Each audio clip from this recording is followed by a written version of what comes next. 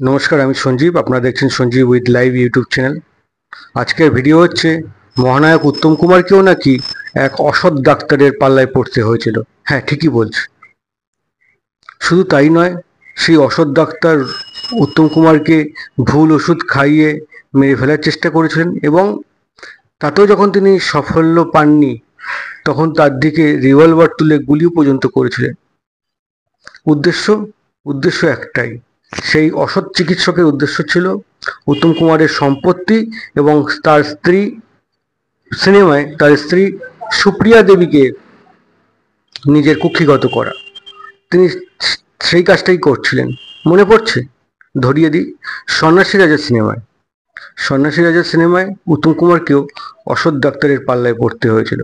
আর আজকে এই গল্পটা বলছে এই অর্থে বর্তমান সময় রাজ্যে যে ঘটনা আমরা দেখলাম, সৎ ডাক্তার, অসৎ ডাক্তার।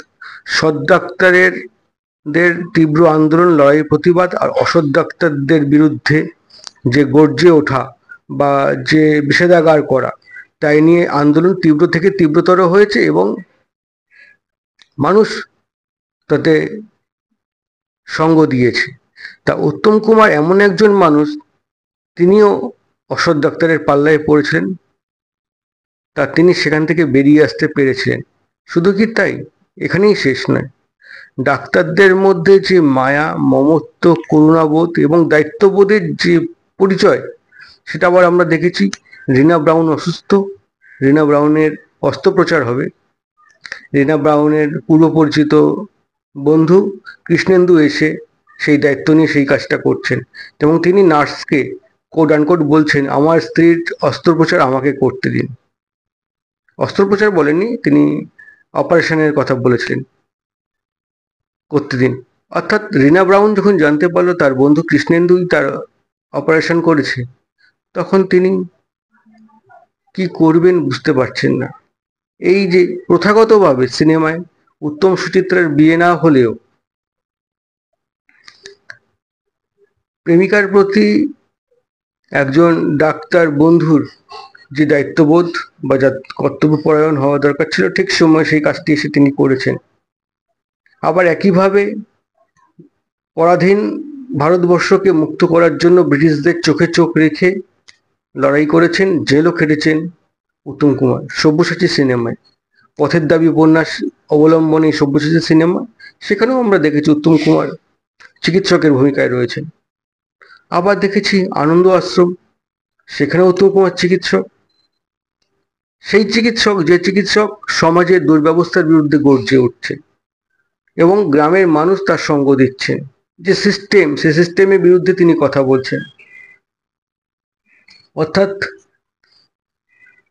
সৎ অসতের এই যে দোলাচাল, ডাক্তারের মধ্যে যে কে সৎ, কে অসৎ, সেটা চট করে বলা সম্ভব নয়। কিন্তু বর্তমান সময়ে রাজ্যিকরের ঘটনা চোখে আঙুল দিয়ে দেখিয়ে দিল যে ডাক্তারি পরিষেবার নামে কি চলে।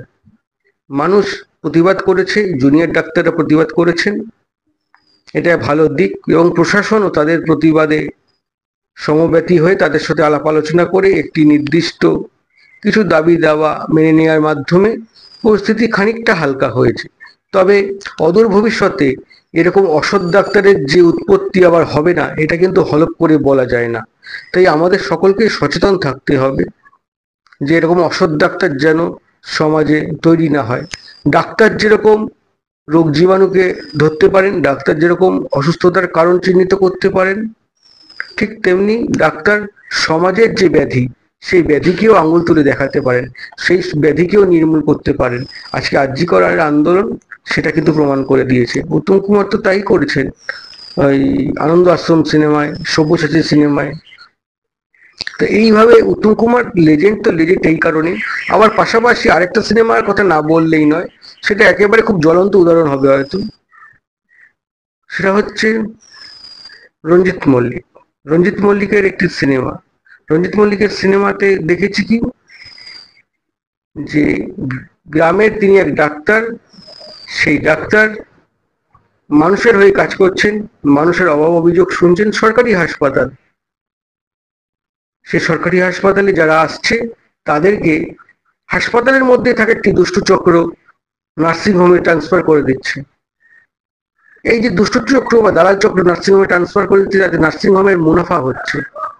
সিনেমাটার নাম কি মনে করিয়ে দিই? সিনেমাটার নাম হলো জীবন নিয়ে খেলা, অঞ্জন চৌধুরীর সিনেমা। এই অঞ্জন চৌধুরীর সিনেমায় জীবন নিয়ে খেলায় রঞ্জিত মল্লিককে যেভাবে আমরা সামনে থেকে দেখেছি, সরকারি হাসপাতালগুলোর সেই চেহারা কিন্তু ছিল। সম্পূর্ণভাবে সেটা যে নির্মূল হয়ে গেছে সেটা বলা যাবে না। খানিকটা বদল হয়েছে, তবে আরও বদল দরকার। আর রঞ্জিত মল্লিককে যখন ট্রান্সফার করে দেওয়া হচ্ছে, গ্রামের মানুষ ঐক্যবদ্ধভাবে হাসপাতালের সামনে এসে দাবি করেছিলেন, এই ডাক্তারকে আমরা ছাড়বো না।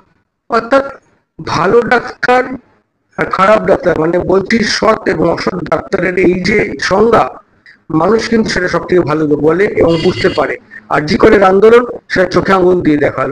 তা উত্তম কুমার তো আছেন। উত্তম কুমার যেভাবে রঞ্জিত মল্লিক যেভাবে আমাদেরকে সৎ, অসৎ ডাক্তারদের চিনিয়েছিলেন, আগামী দিনগুলোতে আমরাও সেই একইভাবে সকলে সকলের কাঁধে কাঁধ মিলিয়ে সৎ, অসতের বিচার করব এবং অসৎ ডাক্তাররা যে নতুন করে যদি কোনো ব্যাজাল তৈরি করে বা ভিন্ন চক্রান্ত করে, তার বিরুদ্ধে আবার গর্জে উঠব।